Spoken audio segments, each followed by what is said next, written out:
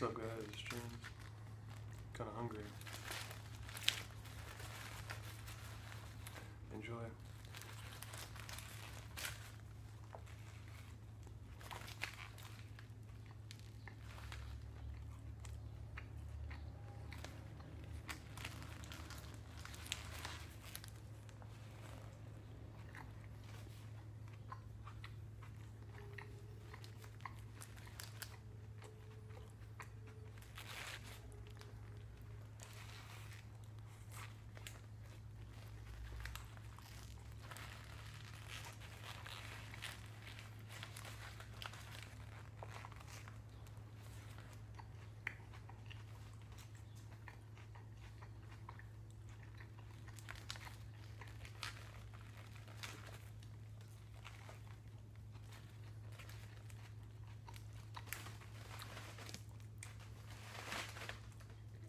trip.